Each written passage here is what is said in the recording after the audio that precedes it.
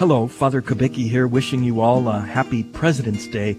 This civil holiday was chosen for the month of February when two of our greatest presidents were born, Abraham Lincoln and George Washington. The latter, on September 17, 1796, gave what is known as his farewell address to the nation. In it, he said that he did not intend to run for re-election, and he advised the American people about what needed to happen in order for the great American experiment of democracy to succeed.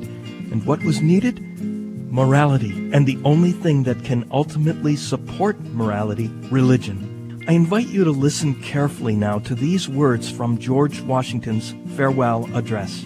Of all the dispositions and habits which lead to political prosperity, religion and morality are indispensable supports. In vain would that man claim the tribute of patriotism who should labor to subvert these great pillars of human happiness, these firmest props of the duties of men and citizens, the mere politician, equally with the pious man, ought to respect and to cherish them. A volume could not trace all their connections with private and public felicity.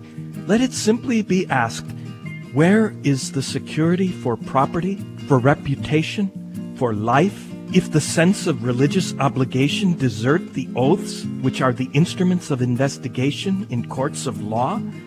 And let us, with caution, indulge the supposition that morality can be maintained without religion, whatever may be conceded to the influence of refined education, reason and experience both forbid us to expect that national morality can prevail in exclusion of religious principle.